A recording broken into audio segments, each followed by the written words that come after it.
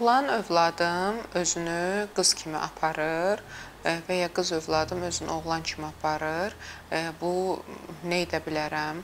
Çox narahatam. Uşağım öz cinsiyyət xüsusiyyətlərinə görə özünü apara bilmir, davrana bilmir, davranışlarında fərqlilik, danışığında, yerişində fərqlilik hiss edirəm. Mən nə etməliyəm? Ümumiyyətlə onu vurğulayım ki, uşaqlar 6-7 yaşına qədər hələ ki rol öyrənmə dönəmidir. Bu dönəmdə təqlid dönəmi olduğu üçün ətrafındakı olan rolları təqlid etməsi onun hansısa cinsiyyət mənsubluğunu göstərmir. Yəni uşaqlar 6-7 yaşına qədər cinsiyyətini kəşf etmə dönəmindədirlər.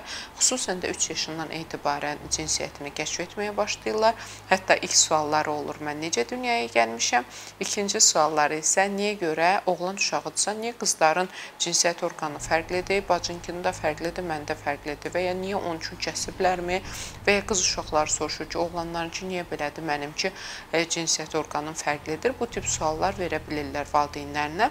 Ən çox həyəcanlandıran, təlaşlandıran suallardan biridir. Əslində ön cinsiyyətin tanımağı üçün verdiyi suallardır və biz təlaşlanmadan, qısa konkret olaraq, çox uzun əhatəli danışmadan, daha qısa, lakonik şəkildə onların yaşı başa düşə biləcək şəkildə izahatlar verməliyik. Və uşaqlarda cinsiyyətlə bağlı fikirləri artıq 7 yaşından sonra təməli qoyulmağa başlayır və burada uşağın davranışlarında rol modellər çox önəmlidir.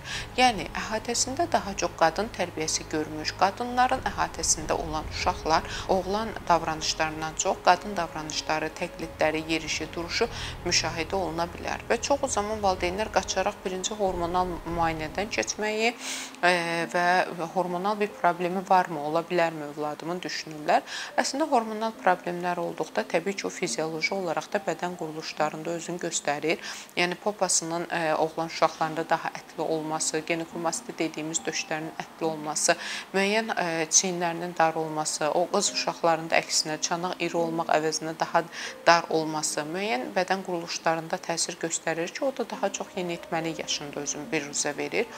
Kiçik yaşlı uşaqlarda əgər belə bir problemləri müşahidə eləyiriksə, 7 yaşına qədər çox da narahat olmağa dəyməz, amma 7 yaşdan sonra müəyyən davranışlarında, xüsusən də qız uşaqları özünü oğlan kimi aparanda, oğlan uşaqlarla oynayanda, oğlan oyuncaqlarla oynayanda, bəzən çox zamanda valideynlər bundan çox narahat olmur. Kişi kimi də qızım deyir, amma oğlan uşaqlarında qadın davranışları olanda çox təlaşa düşür və müraciətlər də daha çox oğlan uşaqları ilə bağlı ailələr gətirir. Biz nə etməliyik, necə münasibət bəsləməliyik, anormallıqdırmı, uşağın irəlidə meyil pozuntusu ya da cinsi orientasiyasında bir pozuntu ola bilərmi, düşüncələri və qorxuları ilə gəlirlər. Onu vurğulamaq istəyirəm ki, uşaqlar bayaq dediyim kimi rol model çox önəmlidir. Yəni ətrafda ata ilə oğlan uşağın kontaktı və ya atı olmasa, dayı ola bilər, baba ola bilər, əmi ola bilər, yaxşı bir müəllim fiquru ola bilər, xalaoğlu ola bilər. Yəni bir kişi obrazı mütləq ki olmalıdır ki, həmin oğlan, həmin kişinin şəklinin, yemək yemə şəklinin, oturma şəklinin, söhbət etmə şəklini bunlara baxaraq özündə yamsılaması önəmlidir. Bu birinci faktor. Amma uşaq ətrafında ancaq nənəni, ananı, xalanı, dayəni, məktəbdə qadın müəllimini təbii ki, görürsə, bu zaman o davranışları sərgiləməsi də çox görünəndir. İkinci hal, uşaqlar 3-4 yaşından etibarən görərsiniz, hər şeyi təqlid edirlər. Spider-Man-ə oxşamaq istəyirlər, hansısa bir halka baxır, yaşıl o divə oxşar bir personaj da ona baxır, onu oxşamağa çalışır və bəzən də anasına da baxıb anasına oxşamağa başlayır. Anası kimi hündürdaban ayaqqabıların geyinməyə, saçının uzun olmasını və saç taxması kimi, anasının hündür ayaqqabılarını geyinmək kimi evdə geyinib gəzə bilər.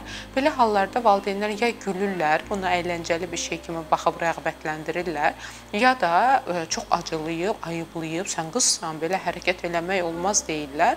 Amma əslində bu doğru deyil. Nə ayıblamaq, nə pislə, nə də çox mülayim gülərək də reaksiya vermək olmaz. Onunla diqqət çəkmədiyini görməlidir. Yəni çox zaman yayındırma. Məsələn, evdə hündür taban ayaqqabısı anasının geyinir, evdə gəzirsə, e, oğlum, e, məsələn, gəl e, bir yerdə cizgi filmə baxaq. Get o biri otaqdan mənim çantamı gətir. E, gəl bura burada sənə bir dənə sözüm var, vacib bir sözüm, başqa bir mövzudan mövzu fikir açmaq, fikir almaq, bildirmək. Bu şəkildə yayındırıcı e, davranışlar ki, yəni sənin etdiyin hərəkətlər mənə maraqlı deyil. Diqqətimizi çəkə bilmərsən, nə pis pislə, nə də yaxşı ilə. Bu şəkildə oğlanlarda qız hərəkətləri müşahidə olanda nə ayıblamaq, nə də rəğbətləndirmək gərəkir, amma %80-90 daha çox ayıblayırıq, utandırırıq, şəxsiyyətini alçaldırıq. Bu da başqa digər problemlər yarada bilər və bəzən özümüz belə pisi çağırıb sanki uşağa bunu tə təlqin edirik. Yəni uşağa sanki bu mesajı veririk və bu modeli yaradırıq. Uşaq sanki artıq özündən şübhələnməyə başlayır böyük yaşlarında ki, mən görəsən doğrudan da mənim cinsi orientasiya problemim varmı, mən anormalammı? Bu şəkildə yeniyetməlik dövründə özünü sorğulamağa başlayır. E, biz buna deyirik 9 yaş dönəmi. 9 yaş dönəmindən sonra artıq tam öz cinsiyyətini anlayır, e, hansı cinsiyyətə mənsub olduğunu bilir e, və əgər oğlan uşaqlarında davamlı məsələn qız dostları varsa, ancaq qız uşaqlarla dostluq eləyir, oğlanların danışığı ona maraqlı deyil, özünü müdafiə etməkdə çətinlik çəkir, hansısa bir qıza məhəbbət duymur, müəyyən belə davranışlar və ya qız uşaqları oğlan oğlanlarla ancaq dostluq eləyir, məhəbbət anlamda yox, daha çox qardaş, dost kimi baxır danışığında, jargondan danışmaları geyim üslubu, e, bunları artıq qız uşaqlarında müşahidə olunmursa, mütləq şəkildə bu dönəmlər psixoloq dəstəyi almalı, psixoloq klinik psixoloq müayinəsindən keçməli, gərəkərsə e, endokrinoloq dəstəyi də almalı, müayinəsindən keçib onun da fikrini almaq gərəkir ki, irəlidə yeniyetməlik dönəmində ikili cinsiyyət xüsusiyyətləri var ki, təbii ki, bu dönəmdə hər iki cinsiyyətin xüsusiyyətlərini özündə daşımağa və qabarıq göstərməyə başlayır. Onun üçün də bu dönəmlər valideynlər xüsusi diqqət eləməlidirlər övladlarını doğru yönləndirməlidirlər.